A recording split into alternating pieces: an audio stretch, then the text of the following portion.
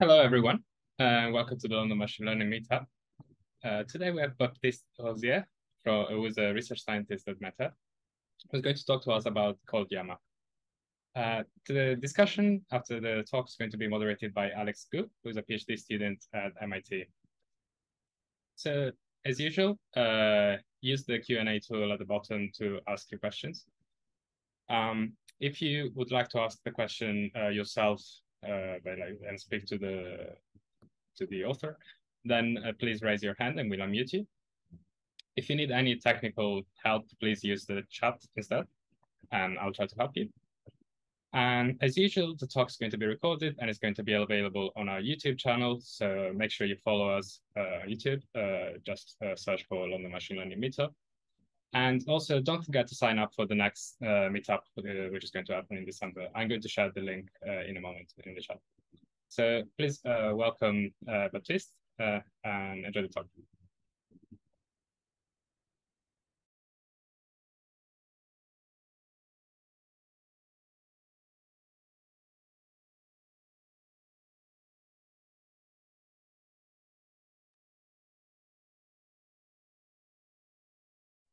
Um, hello, and uh, thank you, uh, Giuseppe, for the introduction. Um, so, said I'm here to present CodeLlama, an open foundation models for code. So, uh, the first question that you may be asking yourself uh, when thinking of uh, foundation models for code is why uh, would you want to develop models for code in the first place? The answer in my opinion, is that uh, you have quite a lot of developers in the world, 28 millions. And uh, for us at Meta, we already have tens of thousands. Uh, so if you make all these people just a tiny bit more efficient, um, basically the impact can be huge.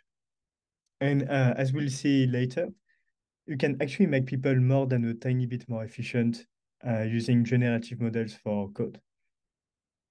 And of course, also many more people that want to code and that could use LLM uh, as a tool uh, to help them uh, to learn. And the last thing, uh, which I think is quite important, is that coding actually supports uh, reasoning. Uh, so this example there that you can see is from the PAL paper, where they noticed that if they ask a model to generate a simple program, instead of generating a solution or instead of doing a chain of thought, it really improves the results on uh, benchmarks such as uh, GSM 8K. And uh, further than that, for natural languages, it's always pretty difficult to test uh, the uh, generations of your model. Uh, like you can you can do it with multiple choice question answering, for instance, but it doesn't really test the capability of your model to uh, generate full sequences. Like it's not obvious how to test a model for uh, poetry generation uh, without humans in the loop, for instance. Uh, but for code, uh, it's much easier because you can use things like unit tests or some pretty objective metrics that can be computed automatically, uh, such as how fast your code is and things like that, to evaluate the uh, how good your generations are. And um, actually, people are already convinced that these models are useful and are already using them or planning to use them. So 70% of uh, professional developers, for instance, are either using or planning to use AI tools. And uh, most of them also have a favorable uh, opinion of these tools. And uh, yeah, most people think that it can increase their productivity, for instance.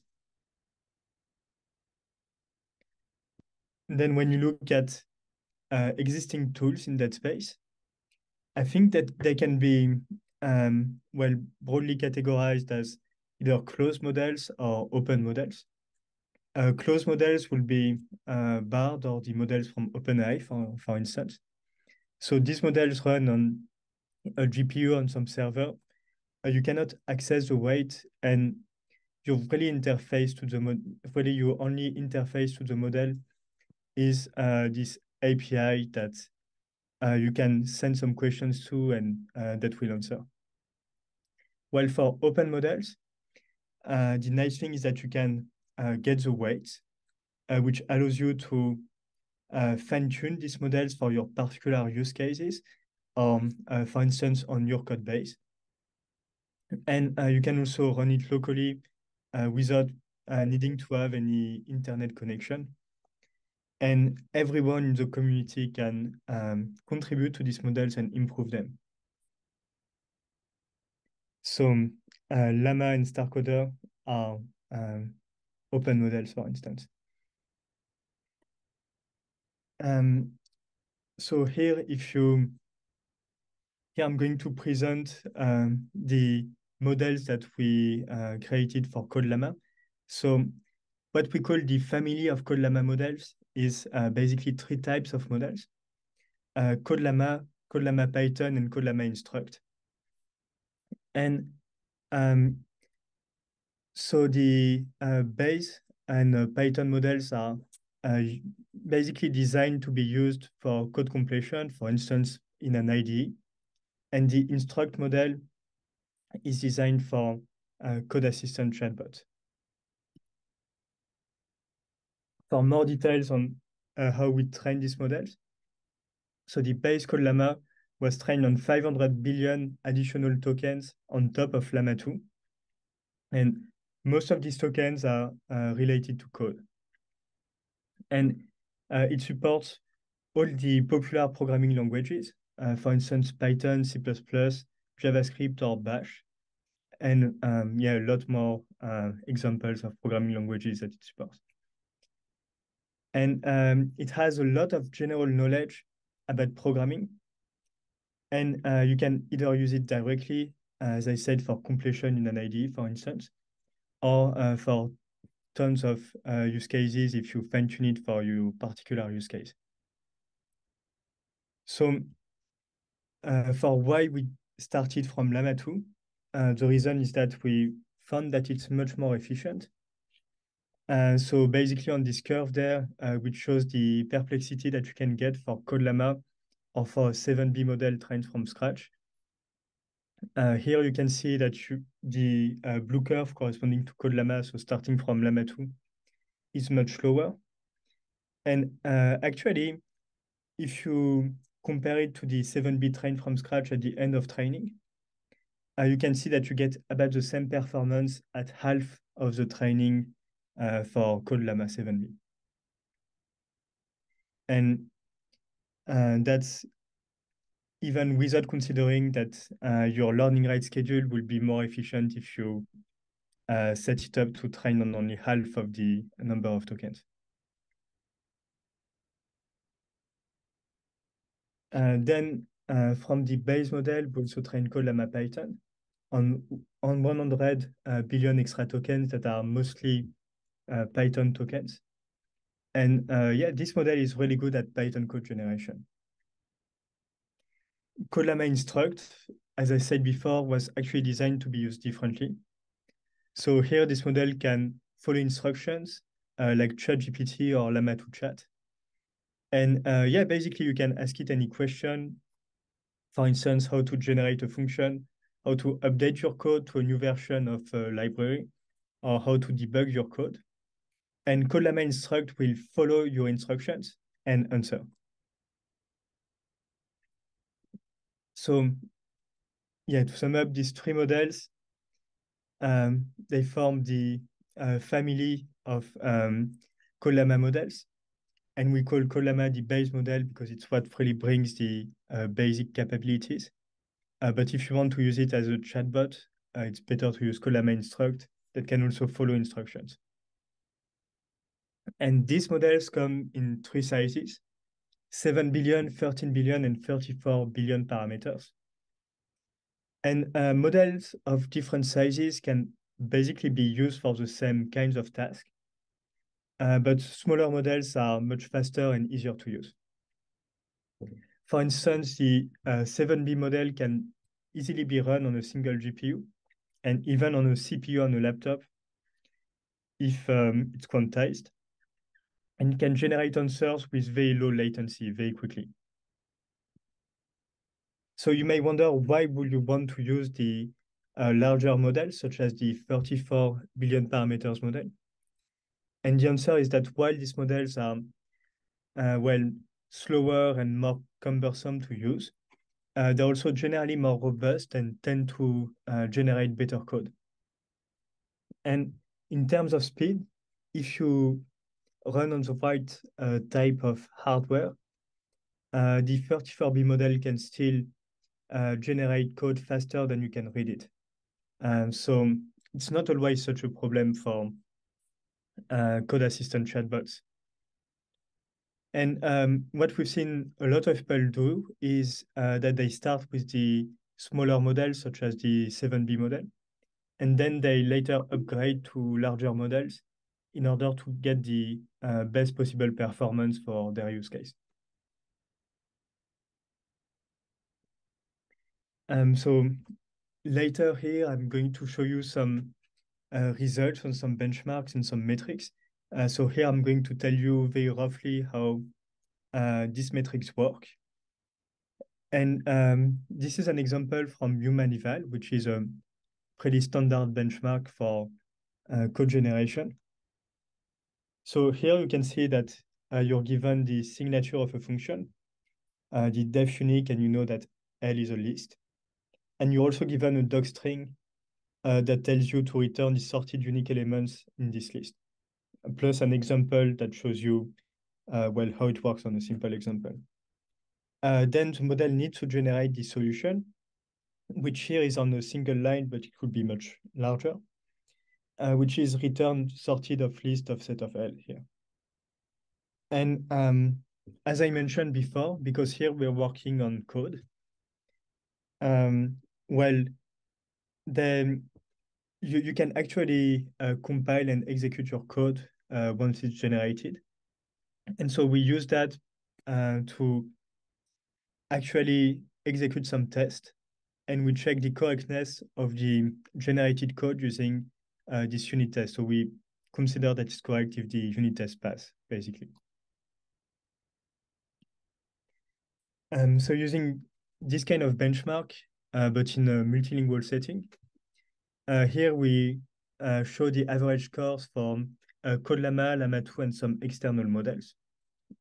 So CodeLlama is in uh, pink on top there. Uh, Llama 2 is in green. And the first thing that you can see is that as you increase the size of these models, so as you go more uh, towards the right on this plot, uh, you also tend to increase the performance. Uh, so you also go higher. Another thing is that uh, even the 70 uh, billion parameters version of uh, Llama 2 um, is below uh, the 7B version of CodeLlama, despite having uh, 10 times the number of parameters, meaning that CodeLlama is much more efficient uh, for code benchmarks. And if you compare our 7B model with uh, Codex V1 or StarCoder, uh, which are significantly larger, you can see that the performance is about the same.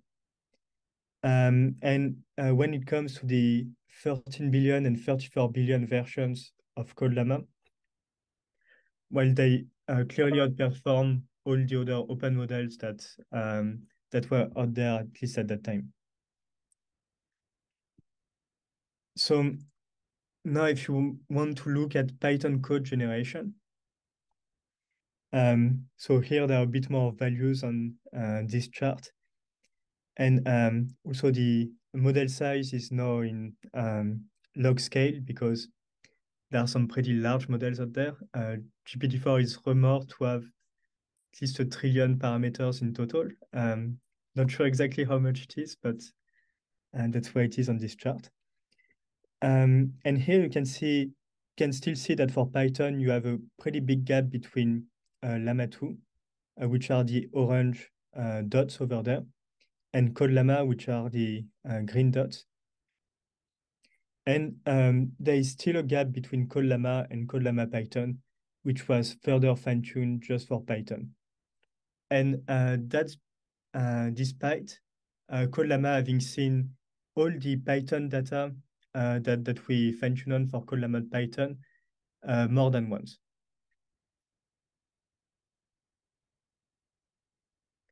Um, then I also want to talk about some kind of uh, special features that we added in uh, Llama on top of uh, Llama 2. So one of them is uh, long context fine tuning.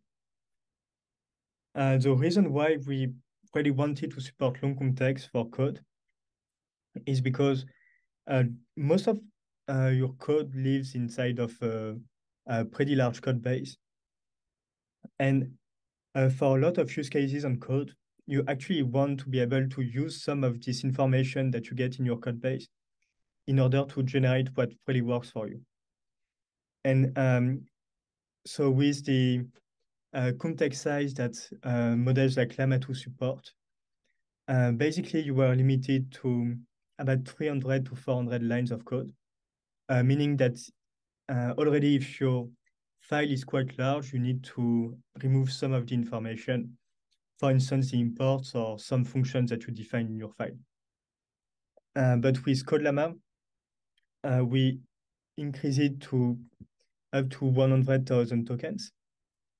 And it means that you can, um, well, you, you can put the context of uh, most files in, uh, in the model.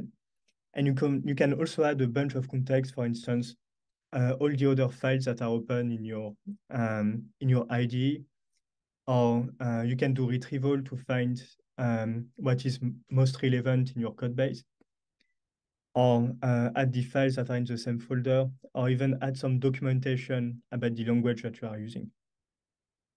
And uh, here I give a bit of uh, details on uh, how we do that. Um, so the main idea is that uh, training on long context is quite expensive uh, because the um, the attention has a quadratic complexity. So uh, what we do is that we just fine tune on long context at the end of training. And we see that we get most of the benefits for the, from doing that at a very small fraction of the cost because we only fine tune on very few tokens. So for more details, we fine tune with a context size of uh, 16,000 tokens, only on about 10 billion tokens. And um, we noticed that for it to work, you need to increase the uh, base frequency of the uh, rope um, position embeddings. And here we increase it from uh, 10,000 to 1 million. Um, basically, if you don't do that, it completely fails. And if you do, it actually um, also works quite well on a longer context than those that you trained on. So here are some metrics on that. Um, this one is for retrieval accuracy.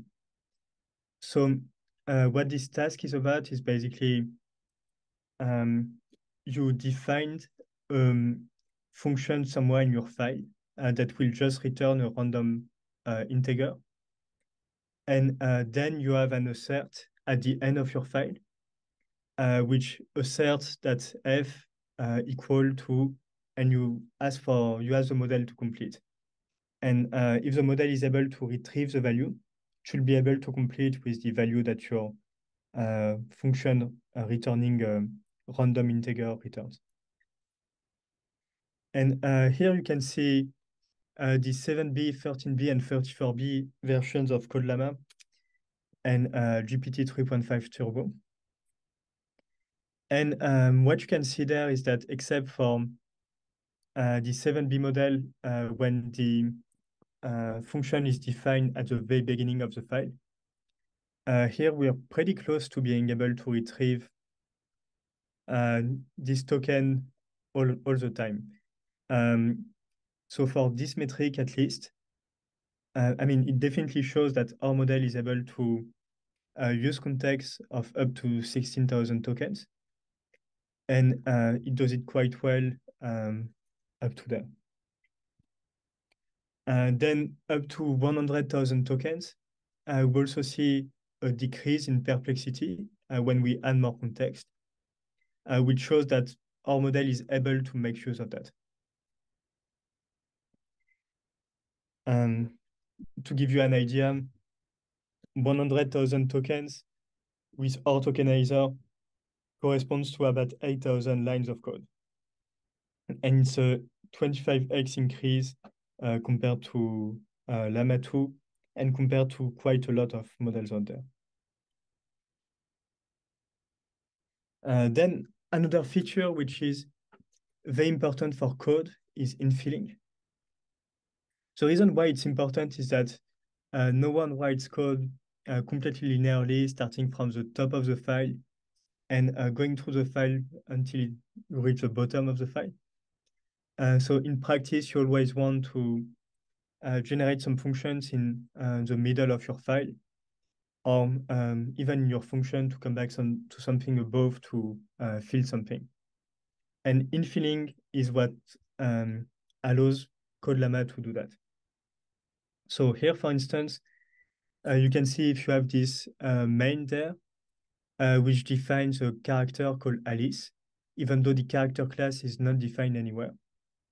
So if you go above and just type class, uh, the model will be able to complete um, with a definition of a character class uh, that fits the uh, usage that, that is below. So it can use both the context coming before and after the cursor. For more details on how we train on FIM, uh, we do it at character level on 90% of the batches.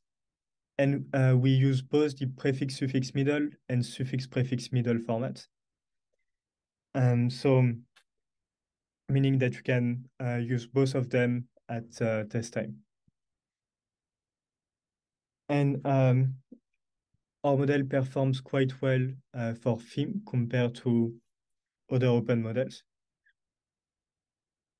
And we see that uh, the suffix prefix middle format uh, tends to outperform the prefix suffix middle format. Um, so it's something where um, in the example that I've shown uh, before, for instance, the suffix will be uh, the main with the definition of the with the uh, usage of the character class, and the prefix will be uh, just the class token.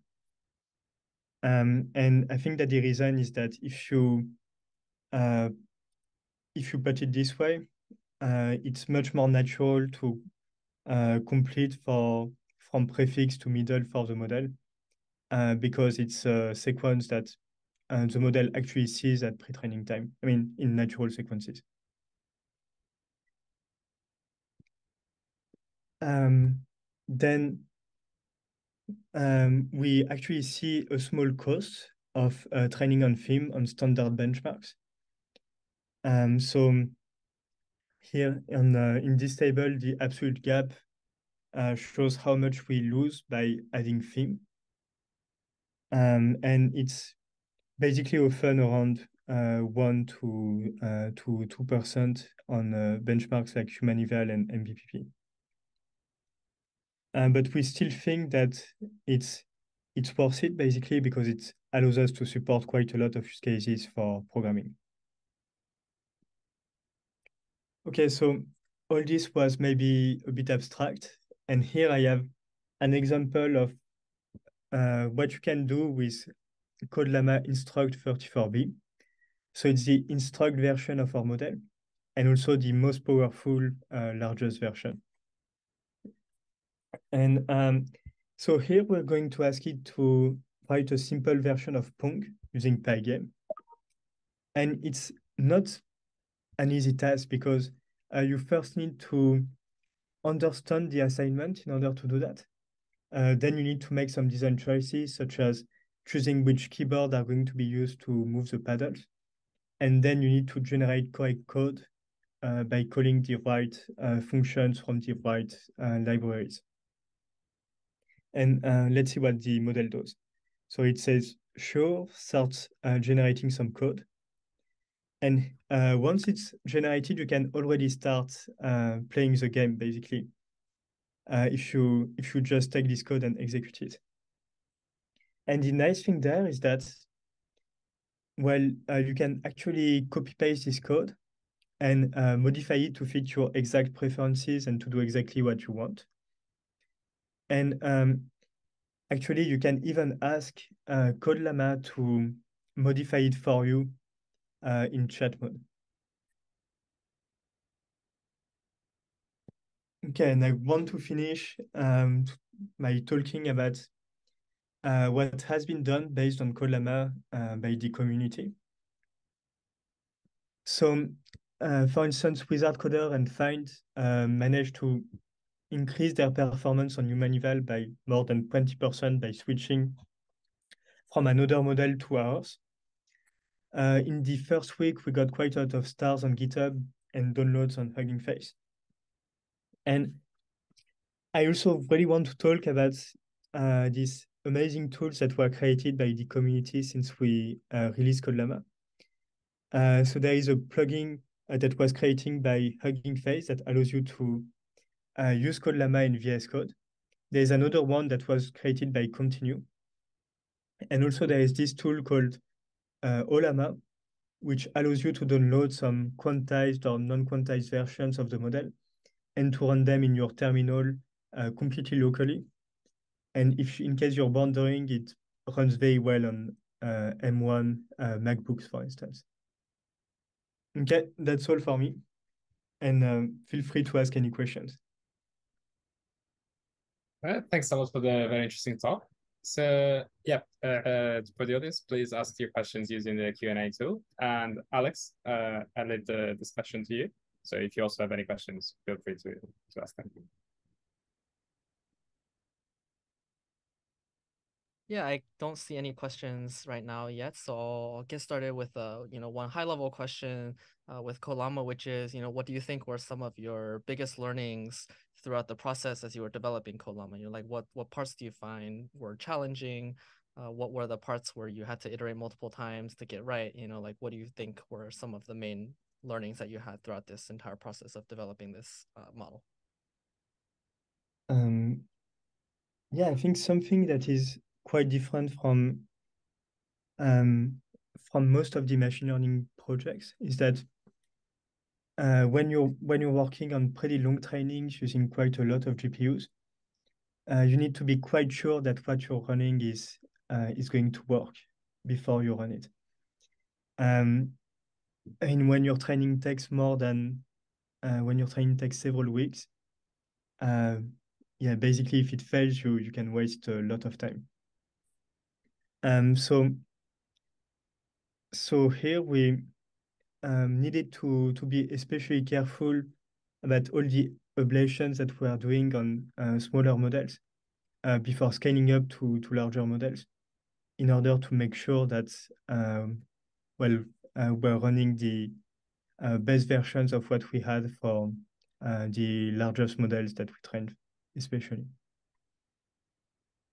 Mm, could you talk maybe a little more about that? You know, like what were the scales of the smaller models you were training? What were the parameters you were tuning? Like, did you tune the architecture at all, or was it mostly learning rate, batch size, those types of hyperparameters? You know, what were the variables involved there?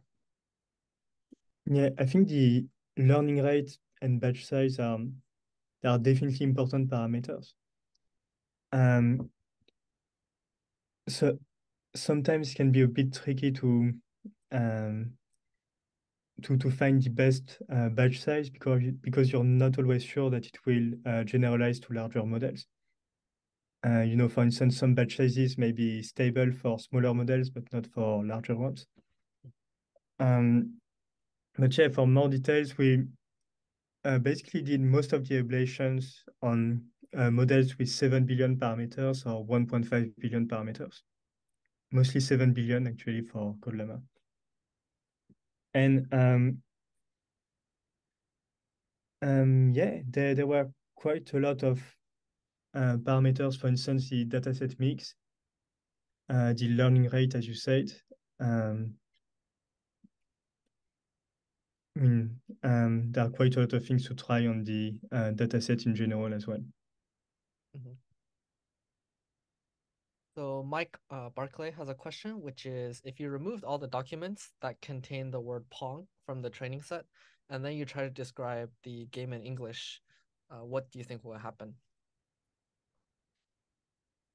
Um, yeah, it's a it's a good question. Um,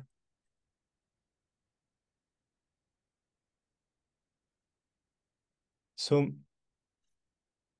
I think the model will still probably be able to uh, to generalize. Like if you if you try to ask it to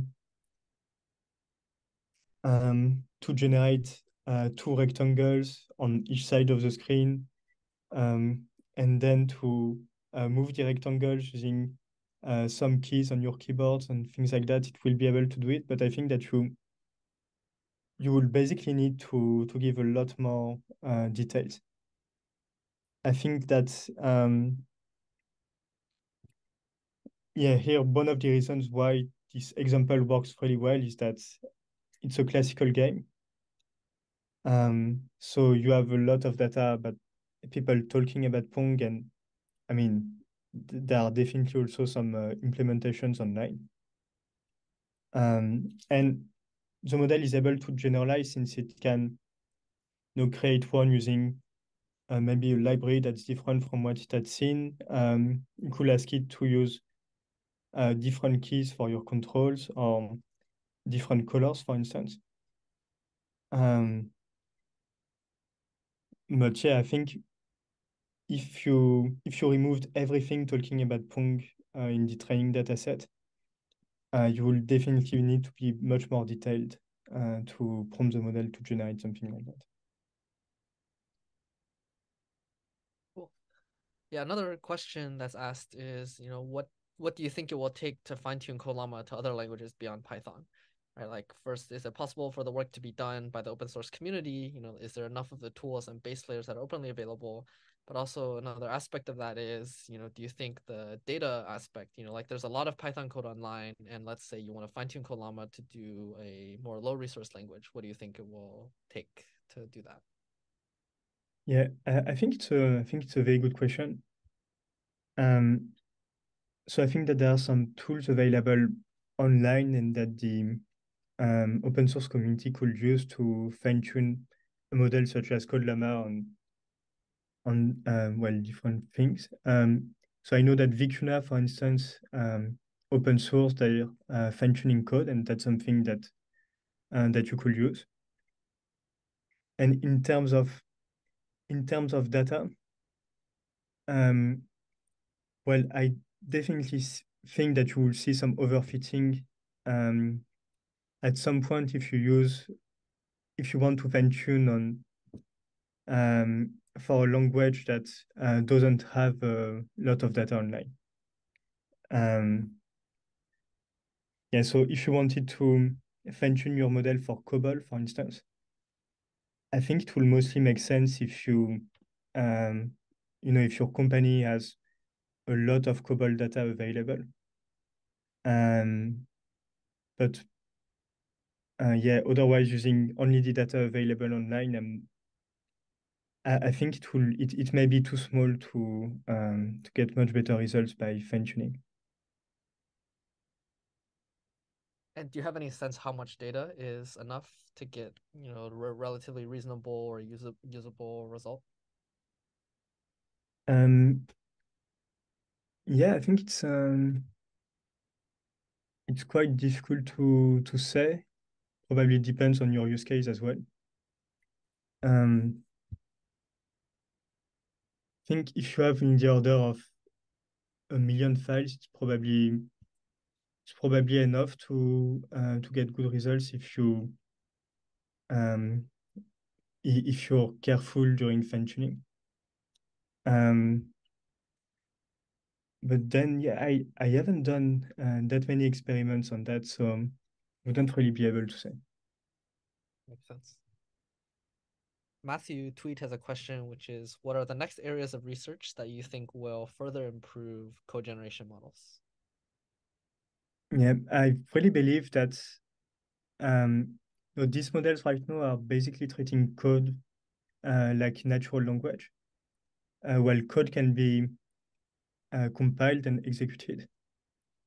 So I really believe that uh, by uh, compiling, exec executing the code, and using the feedback that you can get from that, um, well, we'll be able to uh, really improve these models. Cool. Another question is, did you guys do any research in terms of the efficiency of the code? For example, for longer contexts, uh, and then, you know, compared to say human standards or more specialized language models and so on. So you said for a longer context, so I'm not sure I understand the question. Is it for, uh, did we look at the efficiency of uh, generating code using our model uh, compared to like how fast it is compared to humans? Or do you mean uh, the efficiency in terms of is it is the code that is generated as optimal as code generated by humans? So I think the question is talking about since they do mention for longer context. Uh, my guess would be that the question is more um, targeted towards when the context is longer. You know, how does something like Code Llama compare to humans' efficiency, or maybe the efficiency of a language model that's specialized for like a specific task? Yes, so you mean in terms of accuracy? Um, yeah, so um, I think that um, I think that these models are able to use longer context, uh, but to generate very long uh, sequences of code, I think they are missing this part um, where they can execute the code, see the output, and uh, self-correct. Um, because you know the um, like human programmers, I guess, um, when uh, generating code, these models make mistakes. And if you uh, generate very long sequences of code, the probability that they make a mistake increases exponentially. So, um, yeah, basically, when you generate very long sequences, uh, because uh, human developers will self-correct uh, using the execution and these models don't, uh, I think that the accuracy tends to really go down. Uh, in terms of uh, speed, uh, because I'm not sure if it was the question or, or not. well, of course, these models are, are much faster and um, yeah, they can run, they can generate several things in parallel. So another question related to long context is, you know, what do you think it will take for something like CodeLlama to be more useful in terms of like longer software engineering benchmarks. Uh, for example, if you have, you know, very large code base with 10 files and each file is extremely long, you know, what do you think will be the way forward for these code language models in completing these types of tasks? Yeah. Um, so something that we didn't really look into um, for CodeLlama is um, basically using using retrieval to find uh, the right context in in a large code base. Um, because you know maybe 10 files will fit in uh, in your context. Uh, but I think that most of the large code bases will have a lot more files than that, and so it will be uh, difficult to make them fit. Um, so by using retrieval, you could basically uh, scale to uh, support use cases on entire code bases. And um, yeah, I think if you give the right context, uh, these models are already able to generate things that make sense. How do you how good do you think the model is at you know in some types of like natural retrieval? Like if you include a bunch of relevant information, you know, let's say include like 20 files, but only one of the functions in the 20 files is relevant. You know, how good do you think the models are at actually picking out that is the, you know, that is the file versus needing to do, say, explicit retrieval?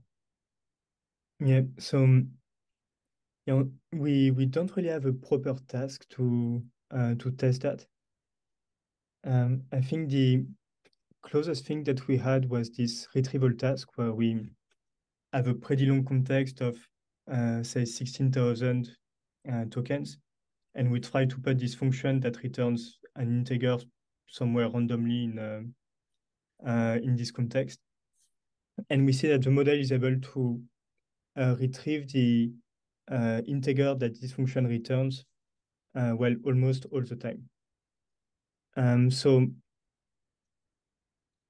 I mean, of course, it's quite specific and it doesn't guarantee that it will be able to do it for um, you know other things, especially uh, for use cases in which um, it's much more difficult to know, um, for instance, which function you should use or uh, what is relevant and what isn't. Uh, but yeah, it gives me the impression that um, that our model is pretty good at doing that. Yeah, maybe now let's uh, shift over to a little bit more on the data side. Could you maybe talk about some of the things that you did with the data? You know, like what data needed to go into your model to make sure that everything was, you know, like were there any tricks you needed to play, any filtering uh, of the data? How did you pick maybe like, you know, what was the mix of natural language to code? Like, how did you come up uh, with that mix? You know, like, and anything else about the data that interesting to everybody? Yeah, so about the data, um, so we had mostly code, but we found that by keeping some natural language, you get better performance, especially on MBPP, but even on uh, HumanEval as well. Um, so uh, that's why we decided uh, to have to keep to keep some natural language uh, in the fine tuning. Um, and well, in terms of cleaning, um, I think it's definitely important to uh, to clean the data that you that you use to train this kind of these, these kinds of uh, models. And um, well, the main thing to do to to clean data is to uh, to look at it and um, try to find some rules to uh, remove the elements that um, that don't really make sense and that you uh, wouldn't want your LLM to generate.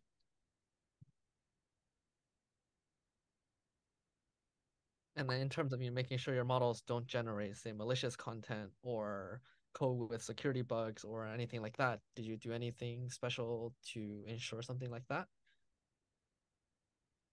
Yeah, so um, for that, we, have mostly done things for the instruct model.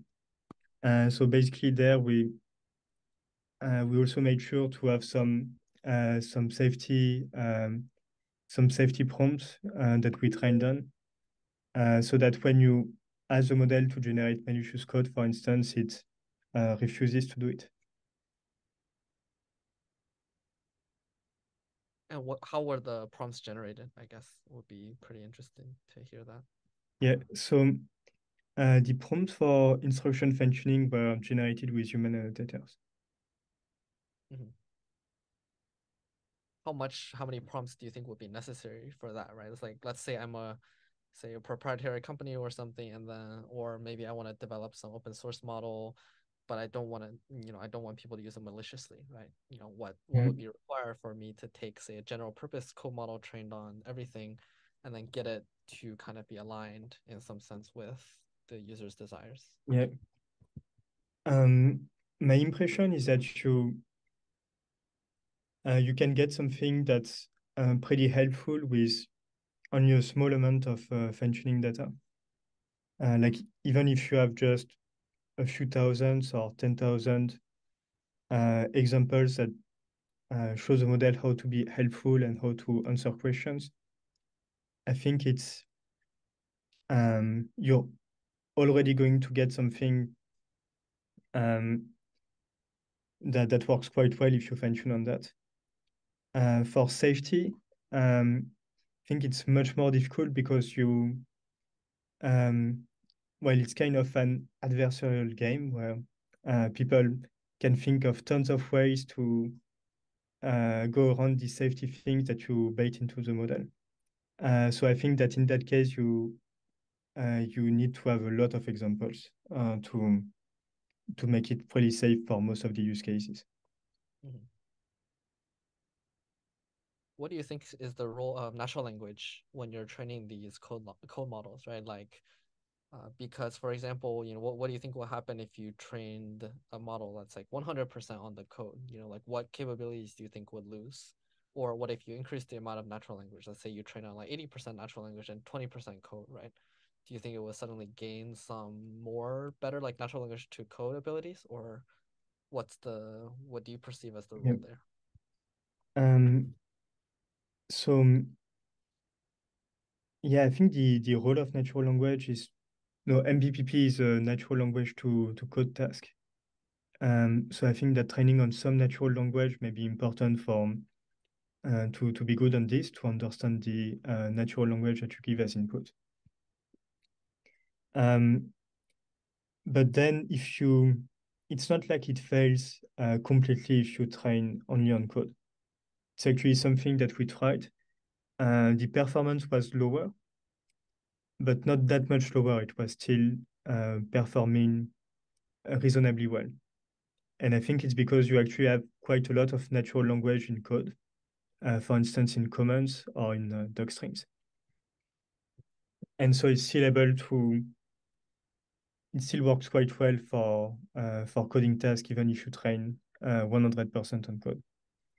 Um, we didn't actually test um, on uh, natural language benchmarks for uh, the model trained completely on code. My guess will be that it loses more than uh, CodeLlama on these benchmarks. Um, but that's something that we uh, didn't really verify. And then for a model trained uh, mostly on natural language and with something like 10% of code, well, I think that there are a lot of models trained this way. And um, well, it's definitely a trade-off, at least for uh, the scale in terms of number of tokens that you train on uh, that we're working with. Definitely seems like uh, you can get better performance on code by adding code, uh, but you do get a bit worse on uh, natural language benchmarks. Do you think it's possible to you know get the best of both worlds? And if so do you have any speculation on what might be the path forward doing that? Um yeah i think it's definitely possible. Um i think it's one of the questions for which um it could be that it works well just if you scale. Uh, like maybe if you have a larger model and train for uh, longer and more tokens uh, you just get something that works well on um, on everything. Um, I mean, obviously, it's uh, uh, it's something that's uh, difficult and expensive to to test. So yeah, uh, I don't really have the answer for that. And um, then I know that um, well, quite a lot of people work on ensembling type of uh, methods, uh, where, for instance, will train a model that's specialized for code, another one that's specialized for natural language. And then I think that you can find ways to uh, merge them together.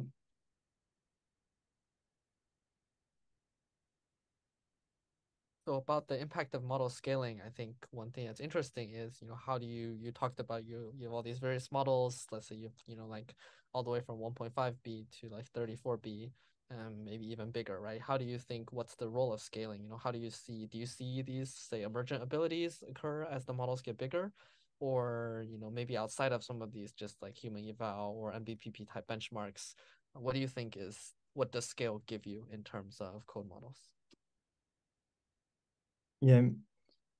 Um, so to answer the, the first question, it seems like at least at our scale, and if you start from Llama 2, um, like, you know, if you look at these curves over there, um, oh yeah, by the way, I added a 70 uh, billion parameters version for CodeLlama and uh, CodeLlama Python there uh, that we train internally. Um, so you can see that the performance for CodeLlama and uh, CodeLlama Python seems to still be increasing kind of uh, linearly, uh, which shows that I mean, at least up to that scale, um, well, it still uh, brings quite a lot of benefits to uh, fine-tune your model to a particular use case.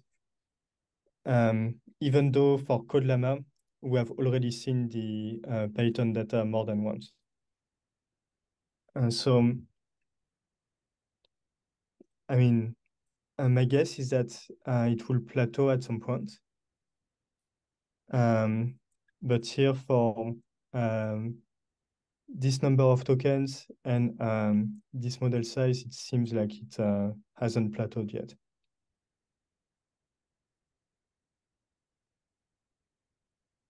Uh, I, I have a, a, quick, quick question.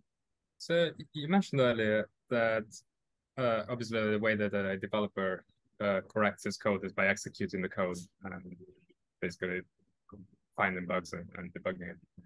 Um, do you think uh, CodeLlama would be able to debug its own code? Like, have you tried in the, let's say, in the conversational setting to feedback the output of the code to see if it's able to fix the issues? Or maybe the context becomes too long and it starts uh, hallucinating? Yeah, I mean, I've definitely some cases in which it was able to correct its own output. Mm. Um, and yeah, if you generate long functions and you need to regenerate the entire function every time, uh, then the context becomes very long uh, very quickly. Um, but with short functions, at least it works.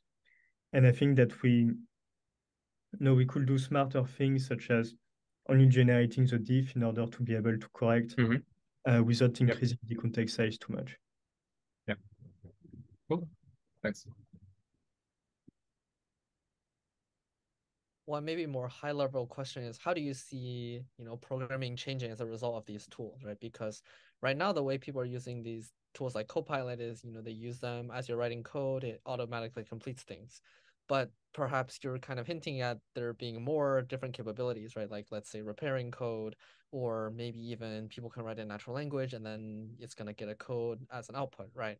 And so one thing that a lot of people have been talking about is, you know, what will be the future interface for how humans and uh, you know code interact and i'm very curious to hear what are your personal thoughts on uh, that um yeah yeah yeah that's a good point i think that I mean, definitely right now, most of the uh, applications that we see seem to be uh, for generating very short um, pieces of code. So said like in Copilot, for instance. And I think that as these models become uh, more, powerful and as we build more tools around these models to uh, so that we can trust their outputs more, uh, we'll be able to generate bigger and bigger chunks of code and uh, maybe even some, uh, you know, pretty complex programs um, out of the box just by querying uh, in natural language. I also think that um, we could see these tools being used more for automatic um, project migration, for instance, to go from uh, one version of a language to another one, or from a programming language to another one, or to optimize code automatically, for instance. Yeah, Martin has a question. Maybe you could ask. Oh, thanks. Well, thanks, Alex. Uh, hi, Baptiste. Great, great talk. Um, I saw the, in the paper that you have this uh, model called the Unnatural Code Llama that seems to have like amazing performance, um, but it's not released. I wondered if you could give us a bit more details about that model. Um, yeah, so for this model, all the details that I can give are in the paper. Um, so basically, we uh, use the same method as the um, as the unnatural model that we as the unnatural um, training paper that we cited in uh, in the CodeLlama paper. And um, yeah, we also we also do it with um, generations that we filter using unit tests. It's also something that we talk about in uh, self-training. And so, um, yeah, we do something close to that. Thank you. I, I haven't actually seen the, the paper that you referred to. Are you able to give a brief summary? Um, yeah, so uh, basically it's about generating some uh, output to some prompts with a, with a model and then uh, training on the output.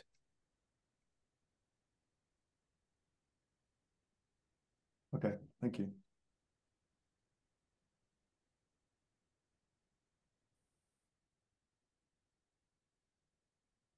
So maybe oh. maybe one one other question about you know using CodeLlama to do other capabilities, right? How uh, let's say you want to fine fine tune CodeLlama to say do program repair or fine tune CodeLlama to do uh, say other other tasks like code understanding, maybe code summarization, debugging, all of that Right. What do you think is, do you have any, say, recommended recipe for somebody who wants to take your base CodeLlama and get it to do other abilities? Um, yeah, I think the first thing to try is um, is to use the instruct version and to ask it to do what you want. Um, but then you can also use the you can also use the base version and try in a few shots with a few examples of um, your use case, uh, mostly short examples if you don't want to increase the uh, your sequence size too much. Um, and um, I think it's generally already a very strong uh, baseline. Uh, but then if you have some data or if you think that you can create some data uh, for your use case, uh, I think it's also worth uh, fine tuning on it to to see how much of an improvement you can get. Yeah, there's also actually a lot of talk about, you know, like, do you really need all this data to train like CodeLlama, right? Do you really need the entirety of the stack and a bunch more natural language data to train something like CodeLlama?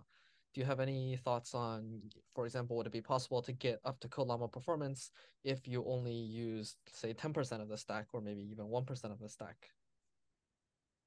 Um, yeah, it's a good question. So I I haven't done this uh, this ablation. I think definitely it will be possible to get uh, to the same performance on uh, benchmarks such as HumanEval uh, by using a lot less data. Um, because if you um, have some data that's really in domain, um, or if you select or create some data that's in domain, uh, like uh, very short um, self-contained um, coding questions, for. Uh, well, I think if you train on this kind of stuff, um, you can get you, you can increase your performance on benchmarks uh, very quickly. But I think that um, well, I think that basically these benchmarks are only useful if you if you don't do that uh, because if you don't, it uh, gives you an idea of the uh, general coding capabilities of your model. Um, well, if you uh, create some data and train a model, especially to um, improve performance on these benchmarks, um, it will tend to overfit them a bit. And um, like I think that uh, your performance won't be as representative of uh, the results that you will get from arbitrary uh, coding tasks. Cool, thank you. Well, uh, unfortunately, we're, running out of time. But yeah, thanks a lot again for the very interesting talk and, uh, and the great discussion to Baptiste and Alex. Uh, it was a pleasure having you here at the meetup. Uh, and just a reminder that the talk going, is, has been recorded and it's going to be uploaded to our YouTube channel. So please follow us on YouTube and don't forget to sign up for the next meetup uh, on the meetup website. All right. Thanks again to Alex and Baptiste and see you at the next meetup. Bye bye. Okay. Uh, thank you very much. See you.